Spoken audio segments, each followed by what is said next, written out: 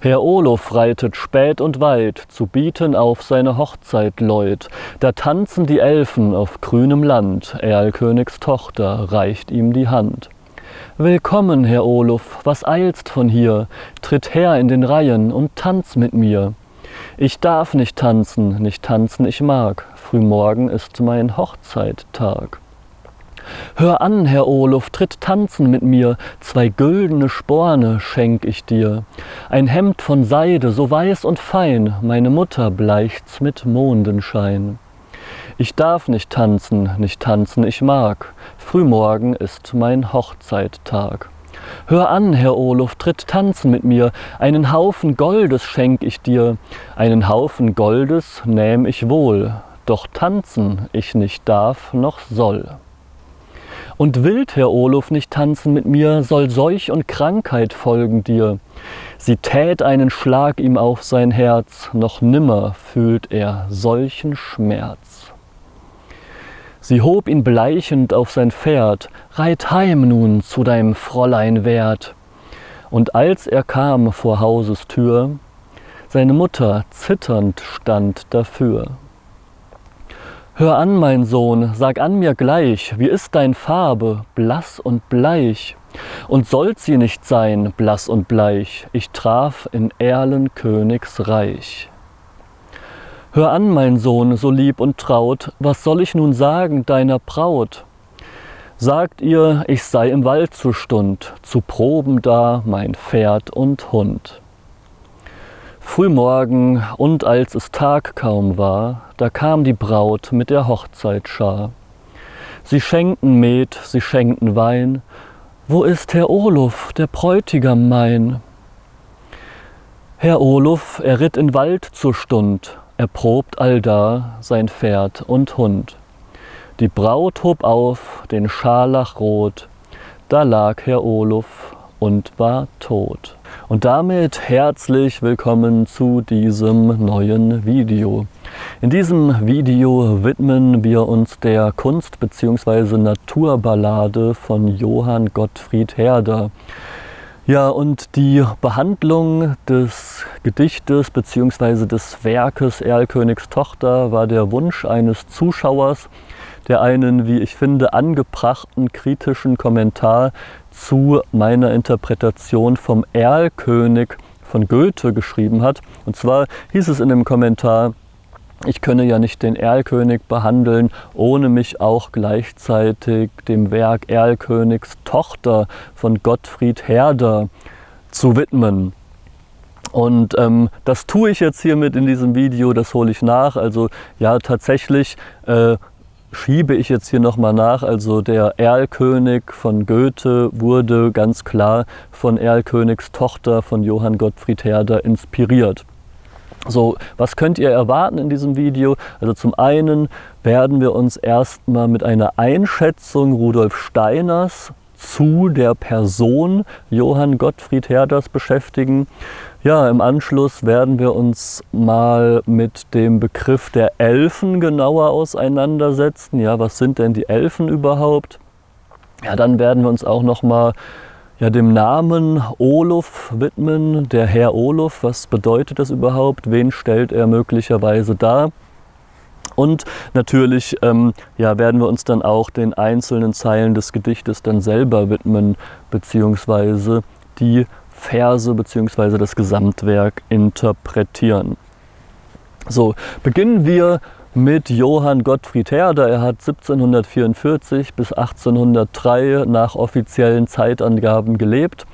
Und zunächst möchte ich jetzt erstmal eine Beschreibung Steiners gegenüber Johann Gottfried Herder vorlesen. Ja, Rudolf Steiner hat sich nämlich eingehend mit der deutschen Klassik, äh, also beziehungsweise der deutschen klassischen Philosophie und deren Dichter und Denker befasst, also zum anderen auch mit dem deutschen Idealismus und allen Strömungen, die es in diesem Zeitraum ja so gegeben hat, die so aus der deutschen Philosophie hervorgegangen sind. Und Rudolf Steiner, ja, kann man zwar natürlich auch sehr, sehr kritisch betrachten, allerdings meiner Einschätzung nach sind seine Auffassungen bzw. seine Analysen und Interpretationen zu den Werken der deutschen Klassik sehr, sehr zutreffend. Also sie gehen sehr, sehr in die Tiefe und sehr schön auch in den spirituellen, geistigen Bereich.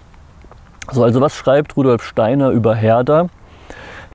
Herder, dieser große Vorgänger Goethes, ging im Grunde genommen früh daran, den Blick hinschweifen zu lassen über alle Entwicklung der Völker, um ein Gesamtbild zu bekommen von den Kräften, von den Wesenheiten, die in dieser Entwicklung der Völker leben.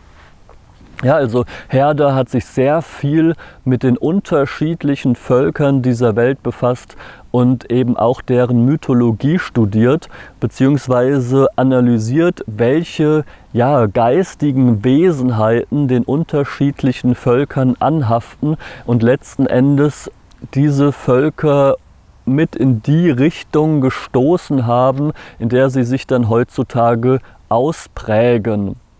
Ja, wir müssen jetzt an dieser Stelle auch mal kurz erwähnen, also Herder hat im Grunde genommen auch ein idealistisches Weltbild vertreten, sprich kein materialistisches Weltbild, wie ja die meisten Menschen heutzutage haben, mit der Auffassung, dass sich ja unser Geist bzw. unsere Fähigkeit zu denken in einem evolutionären Prozess ja aus ähm, der Materie heraus entwickelt hat, ja, also ähm, über Kleinstlebewesen bis hin zu Fischen, dann über Dinosaurier zu vogelartigen Wesen, ähm, über den Affen zum Menschen, beziehungsweise affenähnliche Vorfahren, ja, das ist so äh, die darwinistische Evolutionstheorie. Ähm, der Idealismus beziehungsweise auch die platonische Ideenlehre, die hatte einen anderen Ansatz. Die geht zwar ja, sie negiert zwar nicht unbedingt, dass es auch so einen evolutionären Prozess gegeben haben könnte, aber sie geht in erster Linie davon aus, dass der Geist eben zuerst da war, dass der Geist die Materie nach seinen Vorstellungen formt. Ja, dass der Geist den Leib nutzt, um in der physischen Welt wirken zu können, um sich in dieser physischen Welt ausdrücken zu können, um in dieser physischen Welt Ideen sammeln zu können und sich somit in der physischen Welt lernt zu spiegeln und somit weiterzuentwickeln. Ja, also der Geist in einem luftleeren Raum, wenn wir uns das jetzt mal so vorstellen, ohne einen Leib, ohne Materie hat im Prinzip keinerlei Möglichkeiten. Ja, das heißt, um sich auszudrücken, braucht der Geist eine materielle Hülle in welcher Form auch immer, bei der er dann kneten kann, modellieren kann, bei der er sich dann ausdrücken kann. Ja, das ist so äh, der Idealismus oberflächlich jetzt erstmal ganz ähm, platt dargestellt. Idealismus kommt nicht vom Ideal, ja, der deutsche Idealismus, der wird oftmals falsch verstanden, dieses Wort, ja, also der wird oftmals so verstanden, dass es darum geht, ein Ideal, ja, im Sinne von so das Höchste, das Beste zu finden, des Deutschen. Nein, der deutsche Idealismus, das bedeutet einfach, es ist eine Ideenlehre. Idealismus kommt von Ideen, die Lehre der Ideen, dass die Ideen, sprich der Geist, zuerst da waren. Das bedeutet Idealismus in dem Kontext. Und was er dann hat zustande bringen können als eine Darstellung seiner Ideen über diesen Entwicklungsgang, er hat es ja zusammengefasst in seinen Ideen zu einer Philosophie der Geschichte der Menschheit. In diesen Ideen tritt uns ein Tableau, ein Gang durch die Entwicklung der Menschheit in der Weise entgegen, dass wir verspüren, dass in allen einzelnen Erscheinungen und Geschehnissen Wesenheiten, Kräfte leben, die alle voll lebendig auf Herders Seele wirken. Ja, und nach dem Idealismus nicht nur auf Herders Seele, sondern auf die Seele von uns allen. Ja, so viel zu der Einschätzung Johann Gottfried Herders durch Rudolf Steiner. Ja, im Anschluss werden wir uns jetzt erstmal mit dem eigentlichen Gedicht befassen. Um was geht es denn jetzt in dem Gedicht auf der oberflächlichen Handlungsebene? Also wir haben hier einen gewissen Herr Olof, dessen Hochzeit am morgigen Tag offenbar stattfindet. Und dieser Herr Olof ist gerade zu Pferd unterwegs, um seine Hochzeitsgäste zu treffen. Während er so unterwegs ist, begegnet ihm eine Schar Elfen, darunter eine besondere Elfe, die als Erlkönigs Tochter beschrieben wird. Und diese Elfe bittet Herrn Olof zum Tanz, beziehungsweise sie fordert ihn zum Tanz auf. Herr Olof lehnt ab mit der Begründung, dass ja am morgigen Tag sein Hochzeitstag ist und er nicht tanzen darf und nicht tanzen soll. Daraufhin bietet ihm Erlkönigs Tochter, die Elfe, ja, verschiedenste Reichtümer an, ja, darunter zwei güldene Sporne, also goldene Sporen, um das Pferd anzutreiben möglicherweise, ein weißes gebleichtes Hemd, welches ihre Mutter im Mondschein gebleicht hat und letzten Endes auch ein Haufen Gold. Ja, Herr Olof lehnt all diese Geschenke ab mit der Begründung, dass ja morgen sein Hochzeitstag ist und er nicht tanzen darf und nicht tanzen soll.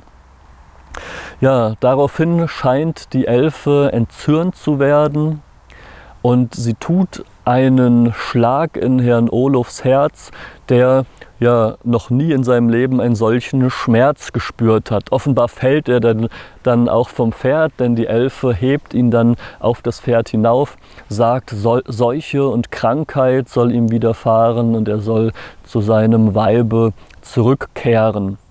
Ja, Herr Olof reitet dann nach Hause, wo ihn schon zitternd seine Mutter empfängt. Seine Mutter begreift sofort, dass etwas nicht stimmt. Sie sagt ihm, warum bist du so blass und bleich? Woraufhin Herr Olof antwortet, er ist in Erlkönigs Reich gewesen, also im Reich der Elfen, beziehungsweise im Reich der Naturgeister, so könnte man es auch übersetzen. Und ja, das scheint sozusagen schon als Begründung auszureichen. Ja? Also die Mutter scheint schon augenblicklich zu verstehen, was passiert ist. Ja, also ihr scheint Erlkönigsreich kein Fremdwort zu sein. Sie fragt ihn nämlich dann sofort, was soll ich denn jetzt der Braut sagen und was soll ich den Hochzeitsleuten sagen? Und er sagt, ja, sag ihnen einfach, ich bin im Wald, um Pferd und Hund zu trainieren. Ja, am nächsten Tag findet sich dann die Hochzeitsschar ein und ja, wie es denn so kommen muss, fragt dann auch die Braut, ja, wo ist denn mein Bräutigam? Und die Mutter antwortet daraufhin, ja, der ist im Wald seinen Hund trainieren. Und im Anschluss gibt es dann noch eine, einen letzten Vers, wo die ja, Braut eben den Scharlach aufhebt. Also Scharlach ist ein bestimmter Stoff. Heutzutage ist Scharlach nur noch als Krankheit bekannt. Scharlach ist aber eigentlich die Bezeichnung für einen ja, edlen Stoff, der ja zu bestimmten Zeitaltern nur eher adligen bzw. gehobeneren Ständen vorbehalten war. Ja, also wir haben hier mit, mit diesem Scharlach, äh, aber auch mit diesen reichen Geschenken der Elfe schon einen kleinen Hinweis darauf, dass, sich, dass es sich bei Olof hier um ja, einen edlen bzw. einen adligen handeln könnte. Ja, jetzt tauchen wir erstmal tiefer ein. Was bedeutet denn der Name Olof überhaupt? Ja, also wie fast jeder Name hat auch der Name Olof eine Bedeutung. Also Olof ist die dänische bzw. auch schwedische Version des Namens Olaf und Olaf steht für den Ahnenerbe beziehungsweise der Erbe der Ahnen, beziehungsweise auch für Ahnenleben. Ja, und dieser Hüter der Ahnenlinie stirbt eben am Ende dieses Gedichtes. Ja, also das ist zumindest schon mal auch eine Bedeutung, die man diesem Werk auch geben kann. Ja, dann spielt natürlich ja, das Wesen der Elfen eine sehr, sehr große Rolle in Erlkönigstochter. Also äh, Olof wird ja hier von eine Elfe empfangen. Und an dieser Stelle scheitern die meisten ja, der Interpretation des Werkes, die ich im Internet so gefunden habe bereits, weil es wird sich hier kaum damit auseinandergesetzt, was denn Elfen überhaupt sind, ja, was denn überhaupt die Bedeutung der Elfen in ja, der germanischen ähm, bzw. der nordischen Mythologie überhaupt sind. Ja, und ich habe zu dem Thema auch schon im, in meiner Interpretation von Erlkönig gesprochen, die ich gemacht habe. Aber ich werde jetzt hier auch nochmal eine Definition bzw. eine Aufarbeitung von dem Begriff Elfen vorlesen, die durch Rudolf Steiner getätigt wurde. Ja, und zwar tut er das in seinem Werk Bewusstsein, Leben und Form, Grundprinzipien der geisteswissenschaftlichen Kosmologie. Die Wesenheiten, die sich dem Menschen anhängen, ja, also die Naturwesenheiten, die Elementarwesenheiten, die Wesenheiten, die sich dem Menschen anhängen, nannte man in der deutschen Mythologie die Alben. Ja, die Alben sind, wie ich gerade gesagt habe, eine alte Bezeichnung für das Wort Elfen. Ja, also man hat das Wort auch noch in dem Wort Albtraum ja, oder der Hexenschuss, der wurde früher als Albenschuss bezeichnet. Oder auch bei dem Wort Albino, also Alb, das, äh, oder in dem Wort Falb, Albino, Falb, falbe Gesichtsfarbe, das äh, steht für weiß oder auch leuchtend, glänzend. Ja, die Alben, die Leuchtenden, die Lichtwesen, früher zum Teil auch als Lichtalben bezeichnet. Also dazu kommen wir auch später nochmal. Sie treten in einer unbestimmten Gestalt auf im sogenannten Albtraum. Diese Träume äußern sich etwa so, dass man glaubt, ein Wesen setzt sich einem auf die Brust. Ja, also wenn man astral sehend wird, sieht man zuerst diese Wesen. Es ist die Widerspiegelung der astralen Bekanntschaft, also der Bekanntschaft der Menschen auf der Gefühlsebene mit seinem Alb. Man könnte auch sagen, mit seinem Feind. Ja, also es ist eine Projektion des Feindes. Ja, wenn man zum Beispiel in Feindschaft mit einem bestimmten Menschen ist, wenn man ja möglicherweise einen Streit hatte mit jemandem und dieser Streit beschäftigt einen jetzt auf der Astralebene beziehungsweise auf der Ebene der Gefühle. Ja, man hat vielleicht Angst, dass man diesem Feind wieder begegnet, dass man von neuem diesem Streit ausgesetzt ist. Man überlegt sich vielleicht, wie man diesen Konflikt lösen kann. Und die Projektion dieses Feindes, die die ganze Zeit in der eigenen Vorstellung existiert, das ist der Elf, das ist der Alp. Ja, das ist die bildliche Erscheinung dessen, was man eigentlich durch seine Gefühle wahrnimmt. Ja, wenn ich jetzt ähm, mich mit jemandem gestritten habe und ich werde jetzt den ganzen Tag über ja, gestört von meinen Gedanken, weil mich immer noch dieser Streit beschäftigt, dann ist das, was mich da beschäftigt, ist der Elf, der Alp. Ja, also er ist natürlich nicht in physischer Form da, bei mir mein Feind, ja, vielleicht ein Freund, mit dem ich mich gestritten habe oder ein Arbeitskollege oder so. Er ist nicht in physischer Form da, aber eine Projektion von ihm beschäftigt mich die ganze Zeit. Und wenn ich ihm jetzt am nächsten Tag begegne, bei der Arbeit zum Beispiel oder einfach im Alltag irgendwo, dann könnte ich ihm jetzt vorwerfen, wegen dir habe ich gestern überhaupt nichts geschafft, wegen dir habe ich jetzt gestern überhaupt nichts auf die Reihe bekommen, weil mich dieser Streit so beschäftigt hat. Und er entgegnet dann vielleicht, hä, wieso wegen mir? Ich habe dir doch gar nichts getan, ich war doch gestern gar nicht bei dir. Wie kann ich dich denn von deiner Arbeit abgehalten haben? Ja, aber trotzdem kann ich jetzt sagen, er hat mich abgehalten. Was hat mich in Wirklichkeit abgehalten von der Arbeit? Der Elf, ja, also eine Projektion von meinem Feind. Ja, das ist der Elf oder der Alp, ein Schwarzalp in diesem Fall, ja, also eine negative Form von Elf. Andersherum gibt es auch nach der Überlieferung. Wir gehen da später noch äh, drauf ein. Näher gibt es auch positive Elfen, die Lichtalben oder die Lichtelfen. Und diese sind sozusagen äh, auch Projektionen von Menschen, die mich motivieren oder von Dingen, die mich motivieren. Also das können auch natürliche äh, Landschaften oder Umfelder sein, die mich motivieren. Ja, wenn ich jetzt zum Beispiel nach diesem Waldbesuch ganz beschwingt nach Hause gehe und der Wald sozusagen noch mit mir mitschwingt, ja, dann begleitet mich natürlich nicht der Wald als solcher mich nach Hause, sondern eine Projektion, eine Nachwirkung des Waldes, ja, äh, lässt mich sozusagen den ganzen Tag dann noch in einer positiveren Schwingungsebene, könnte ich es jetzt ausdrücken, verharren. Ja, und das was mich dann mit nach Hause begleitet, das sind dann eben die Lichtelfen nach der alten Mythologie. Ja, also früher war das Bewusstsein ein viel bildlicheres Bewusstsein, als wir das heutzutage an den Tag legen. Heutzutage ähm, differenzieren wir alles, was wir sehen, sehr, sehr genau. Ja, wir sagen ja, das ist hier ein Baumstamm, hier ist Moos, das hier ist Rinde, äh, das ist eine Eiche. Wir differenzieren die Sorten. Ja, also wir sind in einem sehr, sehr logischen Denken verhaftet.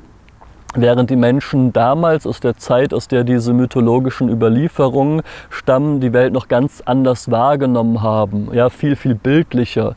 Sie hätten jetzt zum Beispiel nicht gesagt, sie haben jetzt nicht gesagt, ja, äh, der Gedanke an dich hält mich von der Arbeit ab, sondern diese Projektion, dieser Elf hält mich von der Arbeit ab oder eine Muße inspiriert mich. Ja, also man hat viel gegenständlicher, man hat viel bildlicher gedacht. Ja, es war eine ganz andere Form des Bewusstseins.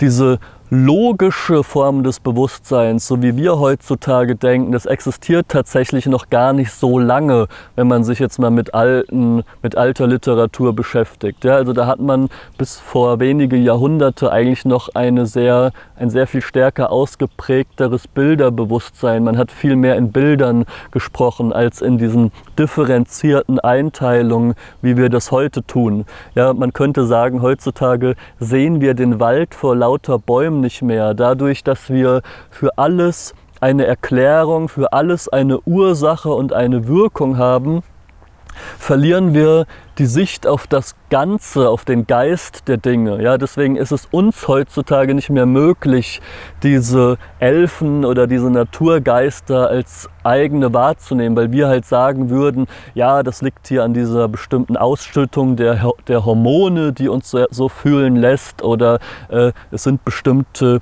Gedanken sind die Ursache dafür, dass wir jetzt so empfinden. Ja? Also wir haben für alles eine Bezeichnung, für alles eine sehr starke spezialisierte Einteilung und deswegen ist uns sozusagen das Ganze als solches nicht mehr so zugänglich. Beziehungsweise wir haben da unser Bewusstsein verlagert, mehr in das Spezifische hinein, während die Menschen früher ja noch ein sehr viel ähm, ja, man könnte sagen, ganzheitlicheres Bewusstsein hatten. Ja, die Menschen damals waren noch nicht so geschult, die Dinge spezifisch zu unterscheiden. Ja, da sind wir heute überlegen. Aber dieses spezifische Einteilen und dieses spezifische Kategorisieren von allen Erscheinungsformen in der Natur, das Zerlegen in seine einzelnen Bestandteile, bringt uns in gewisser Weise auch weg von der ganzheitlichen Bedeutung, von einer ganzheitlichen Betrachtungsweise dieser ähm, Erscheinungen in der Natur. Ja, und ähm, die Elfen bzw. die Naturgeister, äh, da können wir wieder einen Zugang zu bekommen, wenn wir, wenn wir wieder lernen, den Geist eines Ortes oder den Geist bei bestimmten Begegnungen zu erfassen und nicht ähm, die einzelnen Worte, die da gesagt werden, als solche. Ich hoffe, dass, ähm, ich hoffe, man kann mir jetzt folgen, wenn ich da jetzt so reingehe, wenn ich so in diese geistigen Sphären vordringe, beziehungsweise da mit meinem Bewusstsein reingehe, da fehlen einem dann sehr schnell auch irgendwo die Worte, um diese Dinge verständlich auszudrücken, wobei da die deutsche Sprache, denke ich, noch sehr, sehr gut ist, um das durchführen zu können. Ja, so, wir waren jetzt immer noch bei Rudolf Steiner. Das Wesen ist die Projektion eines astralen Wesens in uns selbst. Ja, also was ist damit gemeint? Also das Wesen, der Naturgeist, die Elfen sind die Projektion, also die Spiegelung eines astralen Wesens, ja, also eines Anteils an Gefühlen, ja, eines bestimmten Gefühls in uns selbst. Ja, wie ich das eben beschrieben habe, wenn ich mich jetzt mit jemandem ja, streite, äh, dann ist die Projektion des Gefühles, welches ich diesem Menschen gegenüber habe, eben als diese Wesenheit zu bezeichnen, als der Elf zu bezeichnen. Das Wesen ist die Projektion eines astralen Wesens in uns selbst. Es ist der kleine Hüter der Schwelle. Was ist damit gemeint? Der Hüter der Schwelle. Schaut euch dazu auf jeden Fall mein Video zur Interpretation vom Erlkönig an. Da gehe ich genauer auf dieses Thema ein. Ja, der Hüter der Schwelle. Das ist, man könnte halt sagen, eine geistige Wesenheit, die man überwinden muss, um in der eigenen ja, Persönlichkeitsentwicklung, spirituellen Entwicklung, geistigen Entwicklung weiterzukommen.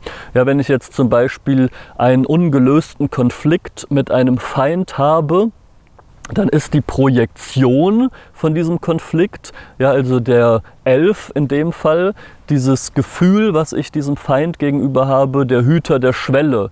Ja, also dieser Hüter der Schwelle hält mich jetzt erstmal davon ab, weiterzukommen in meiner Entwicklung. Ja, also wenn ich eine, einen Streit habe oder einen Konflikt mit jemandem, der ungelöst ist, dann hemmt mich dieser Konflikt. Ja, also er beschäftigt mich in meinen Gedanken, er, er hält mich davon ab, weiterzukommen, weil ich möglicherweise auch Angst habe. Ja, beispielsweise wäre es jetzt auch so, ich, äh, wenn man jetzt vielleicht noch in die Schule geht oder gerade Ausbildung macht und man muss ein Referat halten, dann könnte man jetzt auch zum Beispiel diese Angst vor dem Referat als ein Elf, als ein Schattenelf, als ein Nachtelf oder als ein Schwarzelf bezeichnen der einen sozusagen in der eigenen Lebensfreude, im eigenen Vorkommen hemmt. Ja, man sitzt da zu Hause, oh mein Gott, morgen äh, muss ich dieses Referat halten, möglicherweise werde ich da ausgelacht, möglicherweise werde ich da nicht ernst genommen, möglicherweise kann ich da die Dinge nicht richtig rüberbringen, so wie ich es rüberbringen möchte.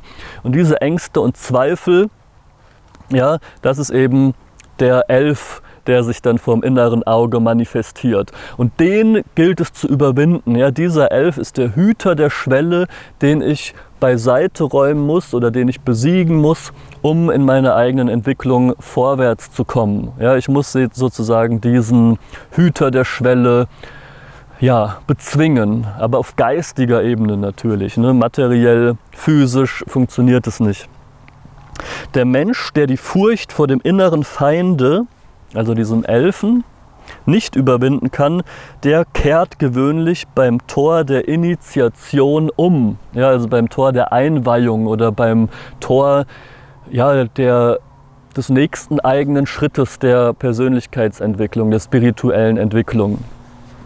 Ja, also spiritueller Aufstieg oder geistige Entwicklung ist nicht nur Licht und Liebe und ist nicht nur angenehm, so wie das einige hier auf YouTube verbreiten, sondern es geht tatsächlich darum, die eigenen Manche bezeichnen sie heute, diese Elfen, auch als die inneren Schweinehunde eben zu überwinden. Ja, also nur dann kann sich der Geist, der in mir ist, auch wirklich entfalten. Ja, also diese ganzen Elfen oder wie auch immer man diese Phänomene nennen mag, diese geistigen Phänomene, hindern sozusagen den Geist weiterzukommen. Man kann es so betrachten, wir als Menschen oder das, was wir bisher vielleicht so als das Menschliche ausgemacht haben, unser physischer Leib, ist zu betrachten wie ein Gefäß, und in dieses Gefäß möchte eigentlich unser eigentlicher göttlicher Wesenskern Einzug erhalten, unser eigentlicher Geist. Ja? Jetzt ist es aber so, dass ganz, ganz viele andere Ungeister oder, oder auch Naturgeister und alle möglichen anderen Geister eben äh, in dieser astralen Welt und in der Mentalwelt umhergehen ja, und da um uns herum schwirren und eben auch in dieses Gefäß hinein möchten. Ja. Sie haben keine eigene Ausdrucksform, sie haben keine eigene physische Möglichkeit zu agieren, deswegen müssen sie den Menschen eben besetzen und durch den Menschen hindurch eben agieren. Ja, und das versuchen unter anderem halt eben auch die Elfen in positiver, aber auch in negativer Weise. Genau. Ja, dann gehen wir jetzt nochmal auf eine andere Überlieferung ein, und zwar auf die Snorra Edda, ja, welche ja, um das 13. Jahrhundert angeblich verfasst wurde von Snorri einem Christen, um das auch nochmal hervorzuheben. Und ich will jetzt erstmal gleich vorweg sagen, also die Snorra Edda, aber auch die Lieder Edda, die sind sehr, sehr in der Theologie umstritten. Ja, ob die denn überhaupt echt sind oder ob das nicht möglicherweise auch ja, da gibt es verschiedene Meinungen und Theorien dazu, also dass diese, dieses Gedankengut der Edda halt möglicherweise eingeschleust wurde ja, beziehungsweise dass die Mythen und Legenden, die da aufgearbeitet wurden, ja, das ist zum Teil schon nachweisbar, dass einige dieser Sagen aus der Edda auch tatsächlich reale Ursprünge haben. Bei einigen Details ist es aber, ja, muss man sehr, sehr vorsichtig sein. Ja, weiß man nicht genau, äh, ob da möglicherweise bestimmte Mächte ähm, das Interesse hatte, da die Volksloren bzw. die Sagen der Völker, in der die Edda verbreitet wurden, zu korrumpieren. Ja, also das müssen wir immer bei der Edda sehr im Hinterkopf behalten. Jedenfalls lesen wir jetzt mal, was in der Edda über die Elfen steht. Also zumindest ein Ausschnitt davon. Also da steht auch mehr über die Elfen noch, aber ähm, genau. Da ist ein Ort, der Alfheim heißt. Also Alfheim, da kommt auch wieder, also Alf ist auch wieder eine Bezeichnung für Elf, Alf, Elb. Da ist ein Ort, der Alfheim heißt. Da haust das Volk, das man Lichtalbe nennt. Aber die Schwarzalbe wohnen unten in der Erde und sind ungleich von Angesicht und noch viel ungleicher in ihren Verrichtungen. Die Lichtalbe sind schöner als die Sonne von Angesicht, aber die Schwarzalbe schwärzer als Pech. Ja, und in diesem Absatz sieht man auch schon ein Element, weshalb zum Beispiel die Edda auch etwas umstritten ist. Und zwar haben wir hier ähm, den für das Christentum der Kirche üblichen Dualismus. Ja, also wir haben eine Unterteilung von Gut und Böse, ja, also Lichtalben und Schwarzalben. Und das ist gar nicht mal unbedingt so nachvollziehbar in übrigen ja, mythologischen Quellen. Also wenn man jetzt äh, zum Beispiel jetzt die griechische Mythologie mal anschaut, da gibt es eigentlich diesen typischen Dualismus nicht unbedingt. Ja, also diese Unterteilung in Gut und Böse. Da wird zwar schon unterschieden zwischen ähm, Dingen, die eher oder für Aspekte, die, die Göttern zu eigen sind, die eher für den Vorteil von Menschen sind und die eher herausfordernd bzw ja nachteilig sich auf den Menschen ausüben, beziehungsweise hemmend, aber es wird in diesen Mythologien eigentlich eher als eine Herausforderung angesehen, ja, wie zum Beispiel ein Hüter der Schwelle und nicht dualistisch in Gut und Böse eingeteilt. Also das ist schon ein Hinweis dafür, dass jetzt dieser Part hier, diese Einteilung in Licht und äh, Nacht, also beziehungsweise Lichtalbe und Schwarzalbe, dass das so ein bisschen korrumpiert sein könnte vom Christentum. Also wo auch halt zwischen guten und unreinen Geistern ganz klar unterschieden, unterschieden wird. Ja, also in anderen äh, Überlieferungen oder in anderen Mythologien, da gibt es nicht das Böse als solches, sondern da wird das, was wir vielleicht äh, heute so als das Böse bezeichnen, halt eben als Herausforderung angesehen, ja, beziehungsweise als Hüter, den es zu überwinden gilt, damit man eben ja, seinen eigenen Geist erprobt und auf, der, auf dem Weg der spirituellen Entwicklung weiterkommt. Ja, also man, man überwindet bestimmte Hindernisse und wird dadurch dann aber auch stärker im Handeln. Ja, also ich kann, wenn ich jetzt, äh, wenn mich jetzt jemand fertig macht oder niedermacht, dann kann ich in ihm das Böse sehen, dann kann ich in ihm das Dämonische sehen, aber ich kann es auch sportlich sehen und sagen, gut, das ist jetzt hier eine Herausforderung für meine Persönlichkeitsentwicklung beziehungsweise für meine spirituelle Entwicklung. Und ähm, kann mir überlegen, ja, wie werde ich denn jetzt damit fertig? Ja, wie lasse ich denn jetzt meinen Feind in Anführungszeichen gegen die Wand laufen? Ja, oder wie kann ich denn selber an dieser Situation wachsen? So, dann kommen wir jetzt nochmal zu der Charakterisierung. Wie werden denn Elfen auch heute noch charakterisiert? Also in heutigen ja, Fantasy-Spielen, Fantasy, in Fantasy-Literatur. Da werden halt Elfen oftmals als eine Art überzeichnete Menschen dargestellt. Ja, also entweder sind sie gute Elfen oder gute Elben, dann sind sie oftmals sehr groß, sehr anmutig, sehr inspirierend, sehr künstlerisch, sehr weise, aber auch auf der anderen Seite sehr extrem, extrem arrogant. Ja, und auch das ist ein Hinweis darauf, dass es sich letzten Endes um diese astralen Projektionen handelt. Ja, also auch, dass die heutige Vorstellung von Elfen, wie sie jetzt zum Beispiel durch den Herr der Ringe von Tolkien verbreitet wurden, also dass diese halt eben anknüpfen an diese astralen Projektionen.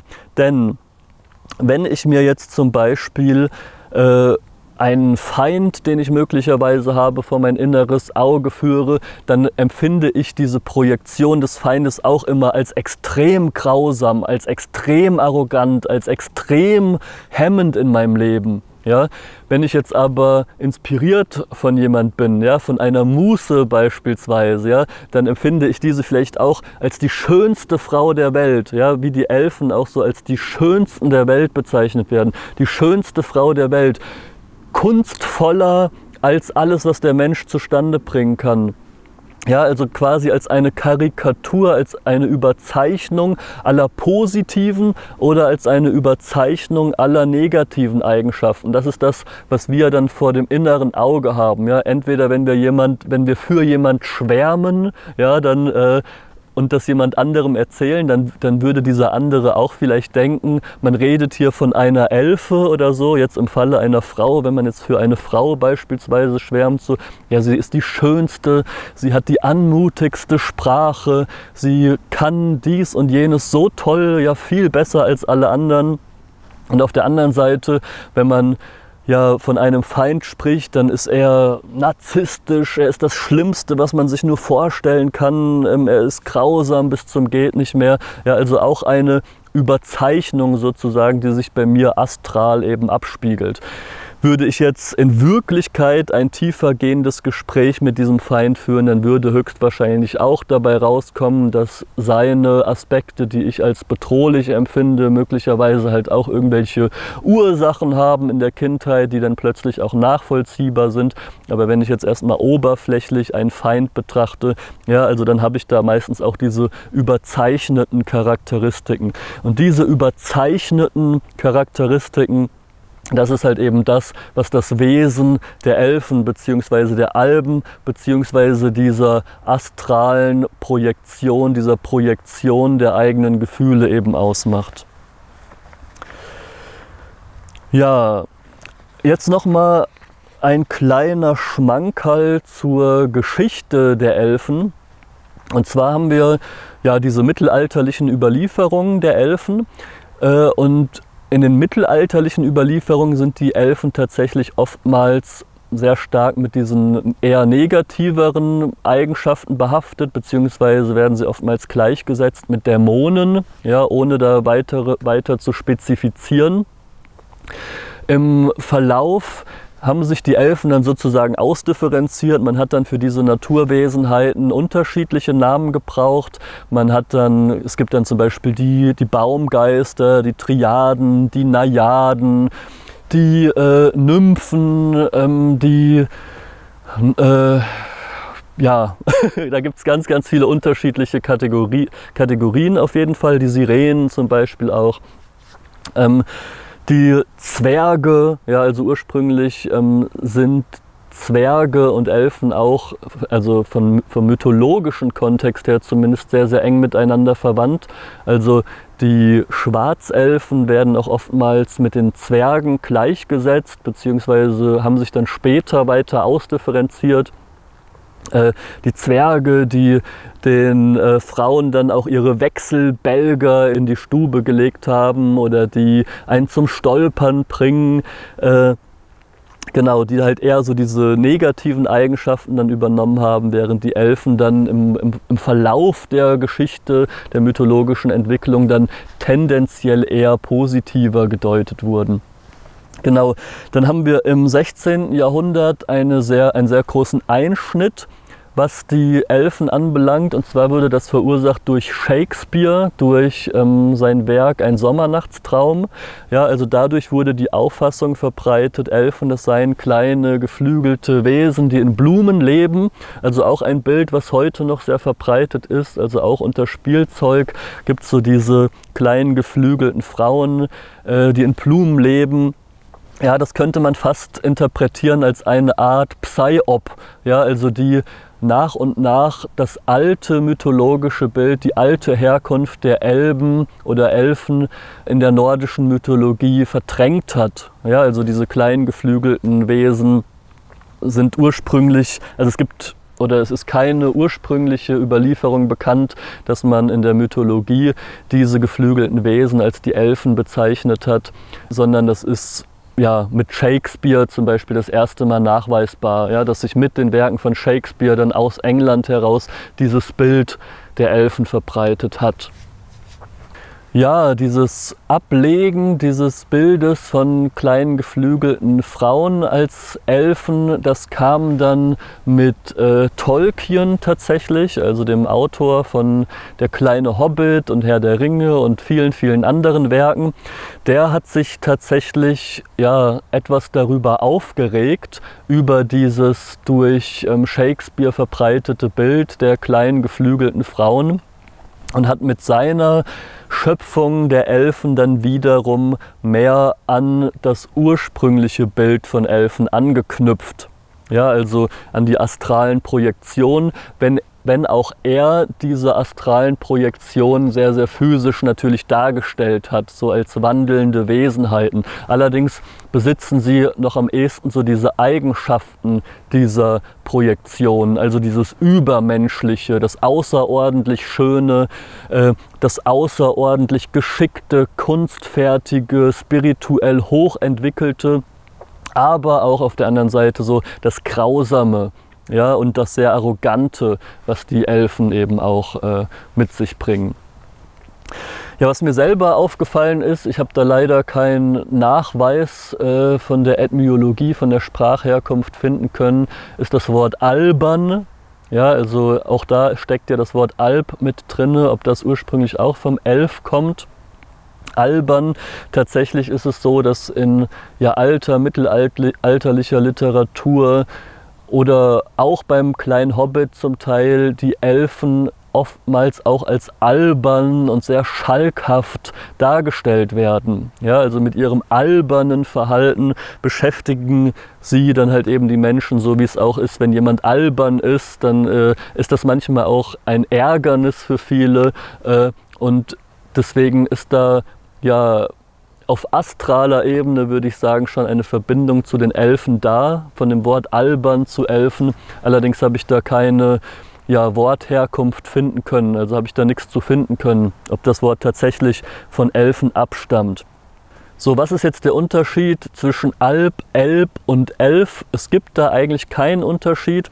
Also der Begriff Elb scheint etwas neuer zu sein und zwar wurde er von den Gebrüder Grimm beziehungsweise spezifischer gesagt von Jakob Grimm eingeführt.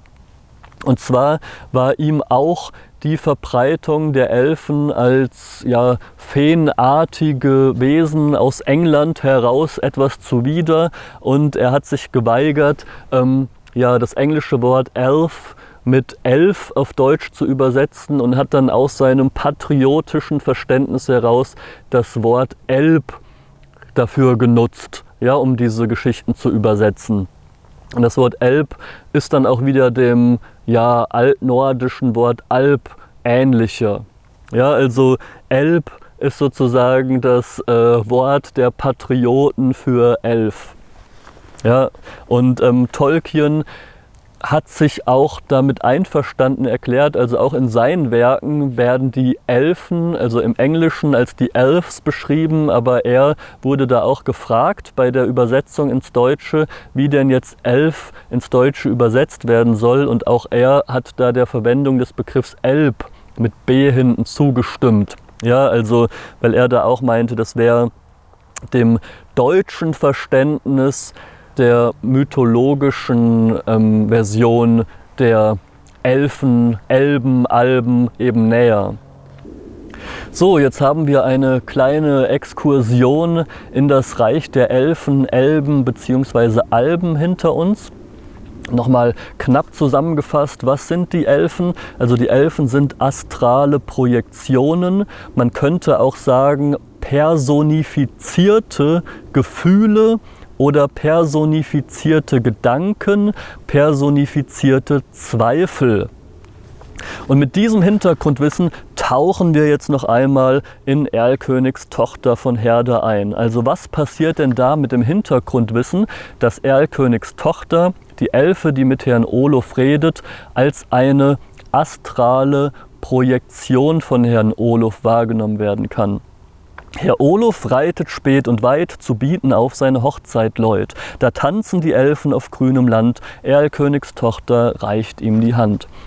Also Herr Olof ist gerade mit dem Pferd unterwegs, er reitet durch die freie Natur, er lässt den Geist der Zivilisation, die ganzen Erwartungen, die an ihn gestellt werden, jetzt erstmal hinter sich und erlangt Klarheit in seinem Geist.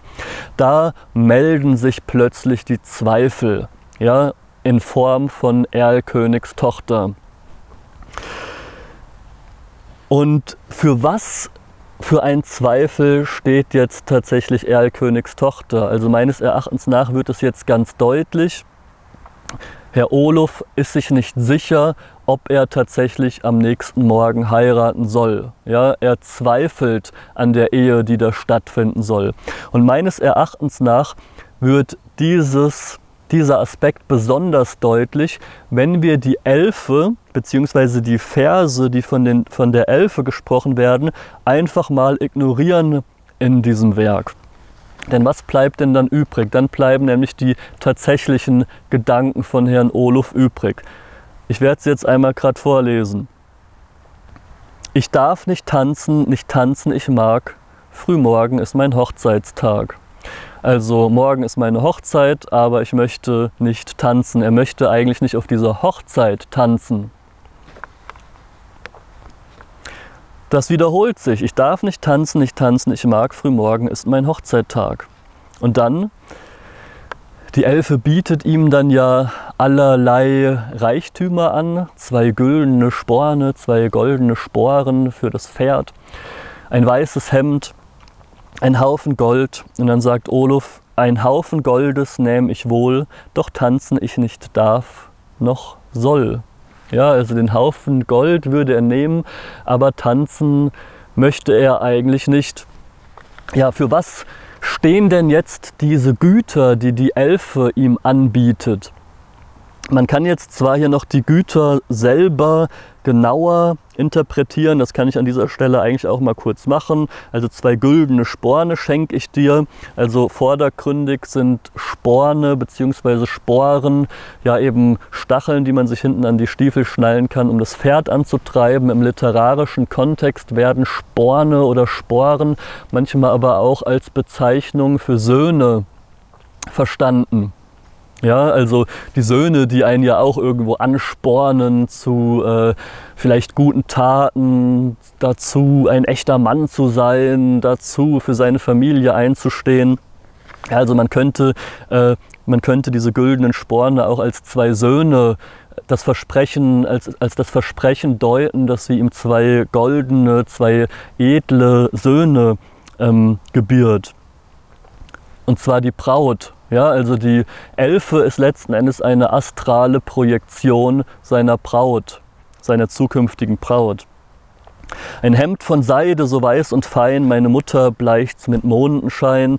Da kann man jetzt auch noch mal tiefer reingehen. Seide ist auch immer was Edles. Ja, also man könnte jetzt hier interpretieren, es äh, handelt sich hier um eine Heirat äh, zwischen Edelleuten. Ähm, Seide ist aber auch für die, steht auch für die Reinheit.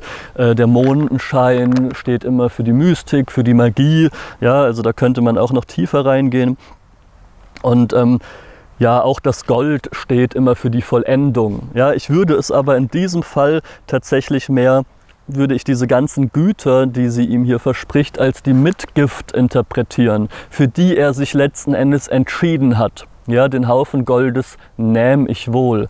Ja, er hat sich also für die Ehe entschieden, weil vielleicht war er zu Beginn der Verlobung selber auch im Zweifel, ja, und dieser Zweifel, der kommt jetzt gerade wieder hoch. Ja, er war im Zweifel und durch diese Versprechen, ja, durch diese, die, durch diese Aussicht auf diese reiche Mitgift hat er sich letzten Endes dann für die Ehe entschieden. Und jetzt erhält er aber von der Elfe den Schlag ins Herz. Ja. Sie tät einen Schlag ihm auf sein Herz, noch nimmer fühlt er solchen Schmerz. Ja, jetzt auf einmal wird ihm klar, dass er die falsche Entscheidung getroffen hat. Ja. In dem Gedicht entscheidet er sich zwar vordergründig gegen die Mitgift, da das Ganze aber eine astrale Spiegelung ist, eine astrale Projektion, ja, kann man es so deuten, dass er sich eigentlich für die Mitgift entschieden hat. Also er hat sich erstens ursprünglich für die Mitgift entschieden und hat sich dafür entschieden, auf der Hochzeit zu tanzen. Nun wird ihm aber klar, dass er eigentlich diese Güter nicht möchte und dass er eigentlich nicht auf dieser Hochzeit tanzen möchte. Ein besonders interessanter Vers, wie ich finde, ist auch der, und will der Olof nicht tanzen mit mir, soll Seuch und Krankheit folgen dir. Ja, die Verbreitung von Seuchen und Krankheiten ist auch ein Charaktermerkmal, welches den Elfen ja insbesondere in der frühen Mythologie im Mittelalter zugeschrieben wurde. Ja, also dass die Elfen Ursache für Krankheiten seien. Und das ist eine sehr interessante Eigenschaft, die jetzt im Kontext, im heutigen Kontext der Psychosomatik auch nochmal eine sehr schöne Rolle spielt. Ja, also die Psychosomatik, die geht ja auch davon aus, dass jegliche Krankheit oder zumindest die meisten Krankheiten eigentlich eine geistige Ursache haben. Ja, also dass Krankheiten auf geistige Konflikte zurückzuführen sind. Und wie wir ja eben gelernt haben, sind Elfen ja im Prinzip die Personifizierung eben dieser geistigen Konflikte. Ja, man kann also sagen, unsere Ahnen wussten schon, dass diese geistigen Konflikte, die sie aber noch als Elfen bezeichnet haben, die Ursache für Krankheiten und Seuchen sind. Ja, also auch ein sehr interessantes Detail hier an dieser Stelle. Ja, beispielsweise sagt man in der Psychosomatik, dass jemand, der öfters an Herzleiden erkrankt, dass der eigentlich mehr auf sein Herz hören müsste. Ja, also dass er sich möglicherweise in der Partnerschaft, möglicherweise in der Freundschaft, möglicherweise im Wahl des Berufes gegen die Stimme seines eigenen Herzens immer wieder entschieden hat. Ja, möglicherweise aus ja, gefühltem Pflichtbewusstsein, möglicherweise um Erwartungen zu erfüllen und daraus resultierend dann eben dieses Herzleiden entstanden ist. Ja, also äh, ihr könnt euch ja mal selbstständig mit ähm, der Psychosomatik auseinandersetzen. Ja, also sozusagen sind diese psychosomatischen Erscheinungen, die Krankheiten letzten Endes alle Folge des Wirkens dieser ja, Naturwesen, der Elfen, ja, beziehungsweise entstehen sie, wenn man sich halt eben gegen den inneren Ruf entschieden hat. Ja. Wenn man den Hüter der Schwelle nicht besiegt hat, ja, wenn man vor ihm zurückgewichen hat, vor ihm zurückgewichen ist. Ja. Dann kommt der Vers, sie tät einem einen Schlag ihm auf sein Herz, noch nimmer fühlt er solchen Schmerz. Ja, mit einem Mal wird Herr Olof bewusst, dass er die falsche Entscheidung getroffen hat. Ja, er hat das Mitgift angenommen, er hat versprochen, auf der Hochzeit zu tanzen und er merkt jetzt, es ist die falsche Entscheidung gewesen. Ja, also er widersteht jetzt der astralen Projektion. Ja, er schlägt diesmal dem personifizierten Gefühl der Elfe, ja, die, die, die sozusagen eine Projektion seiner Braut ist, eine gefühlsbasierte Projektion seiner Braut. Er schlägt diesmal ihre Angebote aus im Inneren. Ja, er lehnt das Mitgift ab, die güldenen Sporne, das seidene Hemd und das Gold und er möchte nicht tanzen. Und nun erfährt er einen unglaublichen Schmerz. Ja? Also ihm wird schlagartig bewusst, dass er sich in einer sehr, sehr schlechten Situation befindet.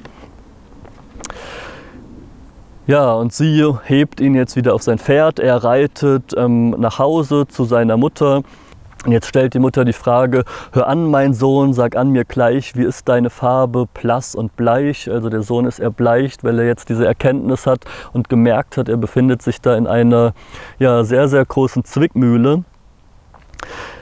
Und er antwortet dann, und soll sie nicht sein, blass und bleich, ich traf in Erlen Königsreich. Ja, und ähm, die Mutter scheint ihn hier auch schon sofort zu verstehen. Sie scheint zu wissen, was Erlenkönigsreich heißt. Ja, also das Reich der Erkenntnis möglicherweise, ja, das, das Reich des Zweifels, der Entscheidung dann aber auch. Ne? Weil sie fragt jetzt nicht, äh, was ist denn Erlkönigsreich oder was, was ist da passiert oder so. Sie fragt sofort, hör an, mein Sohn, so lieb und traut, was soll ich nun sagen deiner Braut? Ja, sie weiß, er war in Erlkönigsreich und sie weiß auch, was das bedeutet. Sie weiß, er hat sich gegen sie nun entschieden. Und er, sie fragt jetzt, was soll, was soll sie der Braut sagen? Ja, und ähm, es, ist, es ist eine sehr, sehr seltsame Ausrede. Ja, sagt ihr, ich sei im Wald zur Stunde zu proben, da mit Pferd und Hund. Als ich das so die ersten Male mir durch den Kopf gehen lassen habe, musste ich da doch schmunzeln. Also man möge sich mal vorstellen, ja, es findet eigentlich die eigene Hochzeit statt, man erscheint nicht und ähm, ja, die Braut fragt, ja, wo ist mein Bräutigam? Und äh, die Mutter des Bräutigams antwortet, ja, ach, der trainiert seinen Hund im Wald. Ach, die Hochzeit, das war heute. Ja, also es ist schon eine sehr, sehr seltsame Ausrede. Also Herder beweist hier auf jeden Fall Humor. Man kann jetzt natürlich auch das, das Pferd noch als äh, ja, Vitalität bezeichnen, beziehungsweise den Hund als Treue. Ja, also er muss vielleicht im, im Wald noch seine ja, Vitalität und seine Loyalität trainieren, in Frage stellen, ähm, vielleicht ähm, erproben, ob er vielleicht bei äh, der nächsten Verlobung lauterer ist, ja, also ob er da ehrlicher ist, ehrlicher zu sich selbst vor allem. Ja, so könnte man das jetzt hier, wenn man das jetzt wirklich tiefgehend hier interpretiert, auch noch deuten. Genau, frühmorgen und als es Tag kaum war, da kam die Braut mit der Hochzeitschar. Sie schenkten Met, sie schenkten Wein. Wo ist Herr Olof, der Bräutigam mein? Genau, da stellt sie dann die Frage. Äh, sie bekommt als Antwort, ähm, der probt äh, Pferd und Hund. Die Braut, das ist dann der letzte Vers, die Braut hob auf den Scharlachrot, da lag Herr Olof und er war tot. Also die Braut hebt den Scharlach auf, also das rote Tuch, also ein sehr edles Tuch, ich habe es ja anfangs schon erwähnt, also ein, ja, möglicherweise ein Kleidungsstück, ähm, welches darauf hindeutet, dass es sich hier um eine gehobenere Gesellschaft handelt. Ja, was möglicherweise darauf hindeuten könnte, dass es sich dabei tatsächlich um Olaf II. aus ja, der dänischen Kronfolge handeln könnte bei diesem Gedicht, bei dieser Ballade. Ja, und da lag Herr Olof und war tot, auch diesen Satz können wir jetzt wieder auf unterschiedliche Weisen interpretieren. Man kann es zum einen natürlich ganz ja, oberflächlich als physischen Tod deuten, man kann es aber auch als einen Tod der Liebe deuten. Ja, also er ist für die Braut gestorben. Ja, also so würde ich es deuten in diesem Fall. Ja, das war meine Deutung und Interpretation von Erlkönigstochter von Johann Gottfried Herder. Also Herr Olof soll am morgigen Tag heiraten, befindet sich mit seinem Pferd auf weiter Flur auf dem Weg zu seinen Hochzeitsgästen, um diese in Empfang zu nehmen. Während dieses Rittes ähm, ereilen ihn aber Zweifel, beziehungsweise dargestellt, werden diese dargestellt durch die Elfen, ähm, die sozusagen nochmal die ganze Vorgeschichte, die zu der Verlobung geführt hat, widerspiegeln. Ja, er entscheidet sich dann gegen die Hochzeit beziehungsweise schlägt das Angebot der Elfen, der astralen Projektionen seiner Braut aus und entscheidet sich eben nicht zu heiraten, kehrt dann zu seiner Mutter zurück die ihm dann zitternd die Frage stellt, was sie denn nun den Hochzeitsgästen sagen soll. Und er sagt, ja, er ist im Wald, um mit Pferd und Hund zu proben. Und am Ende des Gedichtes äh, ja, hebt die Braut eben den scharlachroten Schleier auf, der ein Symbol für ja, Reichtum sein könnte oder was Edles, aber unter diesem Schleier befindet sich dann halt eben der Bräutigam nicht lebend, sondern tot. Also er ist, so würde ich es interpretieren, gestorben für die Braut. Ja, das soll es mit diesem Video gewesen sein. Jetzt würde mich natürlich mal interessieren, was du zu diesem Werk von Johann Gottfried Herder denkst wie du meine Interpretation findest, ob du da vielleicht noch weitere Anmerkungen hast, ob dir da vielleicht aber auch noch weitere Details aufgefallen sind. Was mich besonders auch interessieren würde, wäre, wenn vielleicht der ein oder andere von euch sich sogar dazu berufen fühlt, die Geschichte von Olaf bzw. Olufs II., dem dänischen Königs, weiter zu untersuchen. Vielleicht gibt es da ja noch mehr Hinweise, die darauf deuten könnten, dass Erlkönigs Tochter eben auf seine Geschichte anspielen könnte.